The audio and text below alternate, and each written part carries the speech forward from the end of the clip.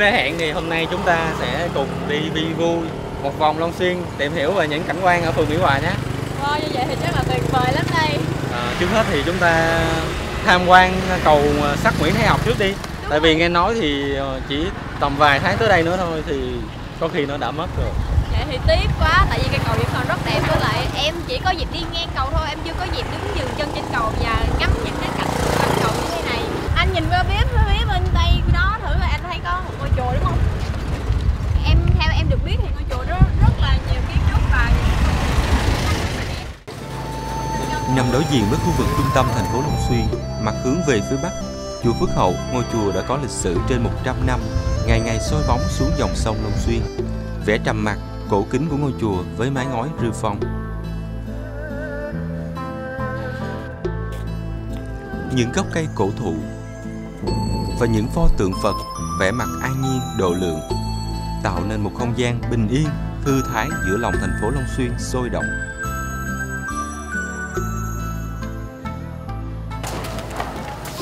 Để con xin chào thầy. Tụi con rất là ấn tượng với cái, cái, cái kiến trúc của ngôi chùa của thầy. Dạ. À, xong à, trong dịp này thì rất mong là thầy có thể giới thiệu về cái ngôi chùa của mình như thế nào nhé. Dạ, chùa Phước Hậu thì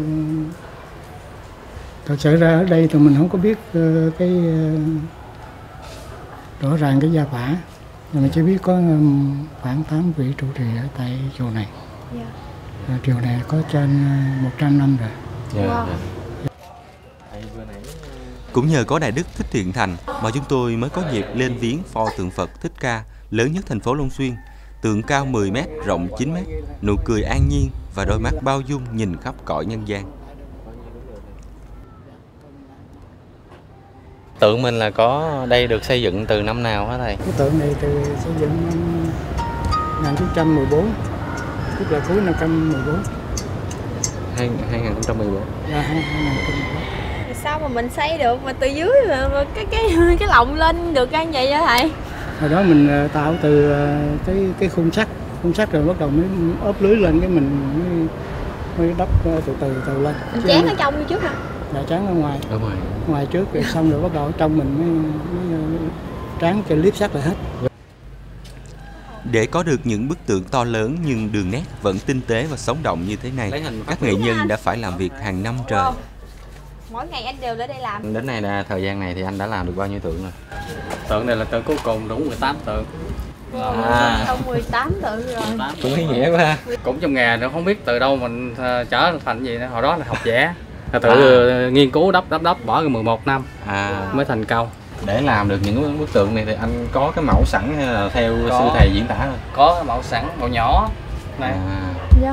mẫu nhỏ Anh cái này mình đắp khô nó như vậy rồi nữa mình đắp thêm vô lên nó có bị ờ, chắc hầu dầu nữa hầu dầu nữa Dạ. một lớp đắp miếng đắp cái mới nữa mình đắp hầu dầu vô cái nữa là cái sau nó mới ăn được còn đắp không thì nó sau này gõ bợp bợp cái sức ra Là hết đắp hai ba lớp.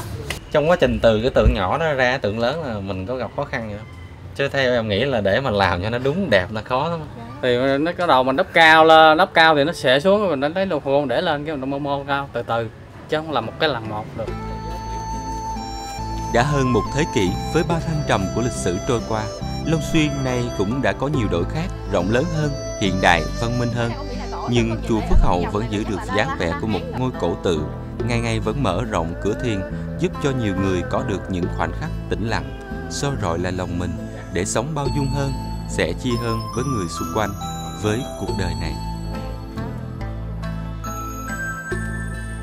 Thưa quý vị và các bạn, chỉ từ một cái tượng nhỏ như thế này thôi nhưng mà những nghệ nhân của chúng ta có thể hoàn thành những bức tượng lớn và hoàn hảo xuất sắc như thế này.